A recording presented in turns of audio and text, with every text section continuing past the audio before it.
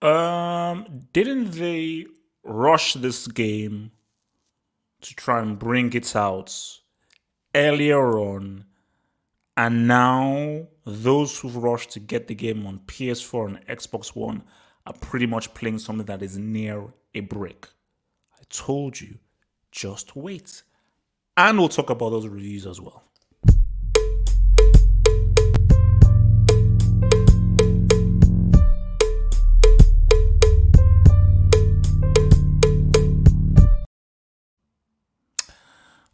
Um, Cyberpunk 2077, as I say. Cyberpunk 2077.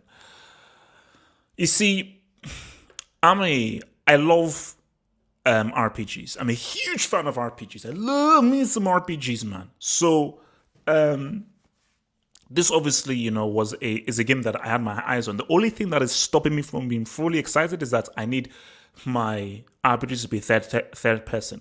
What's the point in customizing your player if you can't go third person? So unless I'm wrong for what I've heard, it's a, it's a first person game. So for me, like a first person RPG, because the world is just so cool and I love the whole sci-fi world. Huge fan of Blade Runner. I'm like, okay, maybe be fun, but still, uh, there has to be a third person option. But I have a PS4 and an Xbox One. I'm not getting a PS5 or a Series X until a super top tier game comes out on those systems or those piece of crap losers called Rockstar bring out GTA 6. You absolute losers. So, where we are. Um, so my thing here is this is um so the game comes out and I now look on Twitter and apparently this game runs like a brick on PS4 and Xbox One and there are now frame rate issues, different bugs, and and so forth. And guys have the data say, oh, no, no, no. This game isn't for the PS4, Xbox One. It's for the Series X and the PS5. What? This game was always advertised for, for the PS4.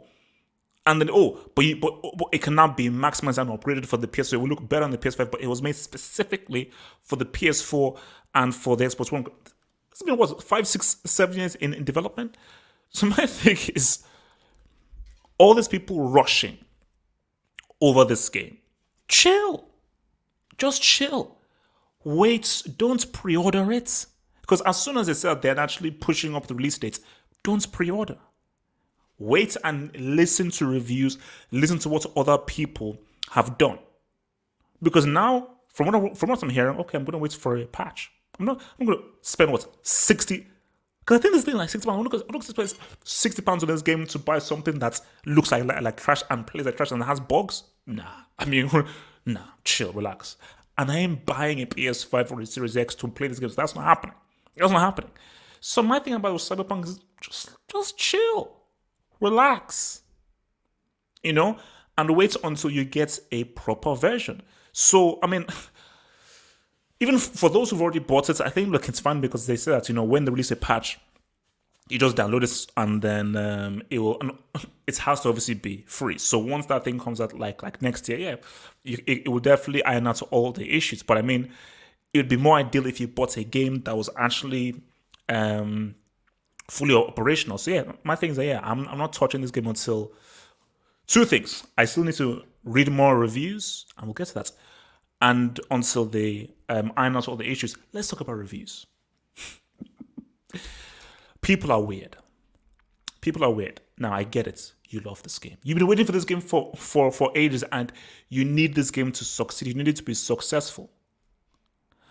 But what I find weird about people is if others aren't as excited as you, or they don't co-sign what you think, you then attack them. A reviewer is a reviewer. And sometimes not every reviewer is going to share the same consensus to any piece of art. Someone will play a game like, eh, nah, it's not for me. It's not, it's not, it's not, it's not, it's not very good. You know, like what's it called? The, the very first Assassin's Creed game, I stopped, I stopped playing after 50 minutes. Not because the game was bad in sense or technically. Technically, the game was amazing. But the missions were boring and, and trash and repetitive, so I stopped playing. And for me, if I was reviewing Assassin's Creed, I'll give it high marks for um, gameplay and for graphics, but I would give it like pretty much zero marks in terms of missions and the imag- in the imagination and creativity of missions and things that you have to do and the storyline. Storyline was piece was was crap. And I think from what the GameSpot reviewer said is that eh, story seems a little bit cheesy and not so so great. Why do you have an issue with that? That is the reviewer's opinion. People say, "Oh, they gave this thing. They gave look, at what this this this reviewer gave the um, score for this game. So therefore, because they gave a high score for this bad game, why should we believe this? They've given this review. And the end of the day, you buy the game and you can now choose whether you like the game or not. Simple as that. Why does your happiness hinge on what someone thinks about something that you're waiting to get or waiting to play or waiting or, or, or waiting to ex- experience. It makes no sense, you know. And you see, I Angry Joe is the only guy I trust because he's the only guy that I say hasn't been bought. Every other video game reviewer, I think, has been compromised. I stopped. I, I, I, I stopped IGN years ago. IGN are the most corrupt video game reviewer that that's you, you, you can think of. Because IGN are like, we need those freebies. You give us those freebies, we're giving you a nine or, or, or above.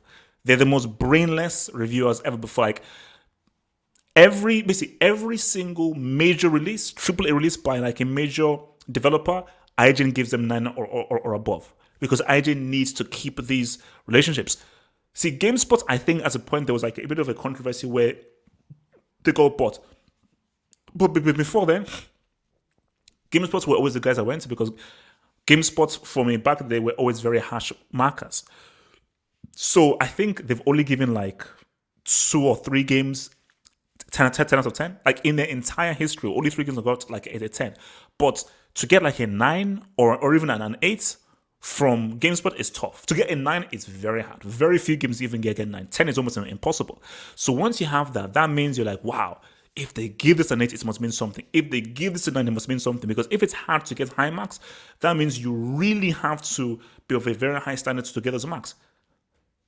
A 9 from IGN means nothing. A 9 from IGN means absolutely nothing because IGN, these guys are morons. They are bots. they are bots. IGN gives everything a 9. Look at any major release and I'm sure a lot of the games that IGN gave nine, I've played those games and these games have, have been crap. But I'm like, ah, it's uh, it's it's, it's it's what's it called? It's a EA game. It's what's it called? Konami. It's Take Two. It's Rockstar. It's it's a big developer. All right, it's Square Enix. Okay, yeah, yeah, yeah. And obviously they'll give them a few freebies. First thing they'll, they'll invite them for. That's what. But you're like, okay, can we play your, your, your video game first? Can we have first dips on, on this game? Can we have a, a, a, goodies bag? Cool. We'll now reward you with this. And obviously, people like the brainless morons that they are will look at an IGN score like, yeah, IGN, yeah. When you just do that they've given them a nine because they get freebies. It's as simple as that. So for this cyberpunk thing, I'm waiting for Angry Joe's review. Because that is a guy who because sometimes I disagree with him, but more times than not, he's on the money and Angry Joe is not he's not afraid to be like, mm, this game is trash. So he's real. He is real because there are games where top tier games where he's like, nah, this game's crap. So I'm being very interested to see what he thinks about this game. Because again, what's it called? I was really into that Watch Dogs Legion. Okay, this seems interesting. This seems interesting. I know it's Ubisoft seems interesting. I watched their review, trashed the game, said game's crap. I was like, boom, thank you, you saved me. You saved me. So it is always very, very important to go to reviewers who you know that they're into bots and will give you that real and have fully tested the game, all the nooks and crannies and so forth. So for me, yeah, man, I'll, I'll wait for that. But yeah, you see, my thing with Cyberpunk is I'm, I'm, I'm gonna wait. I'm gonna wait. You know, because I still have a lot of video games to, to play in a, in a, in a big backlog. But I think the thing about it is that where I stand is the world looks amazing the actual world and what it looks like and how immersive it is, it does look amazing. But I'm just worried about the whole first person nature. And I don't really like that there's no third, third person. And also, there's just a few characters that.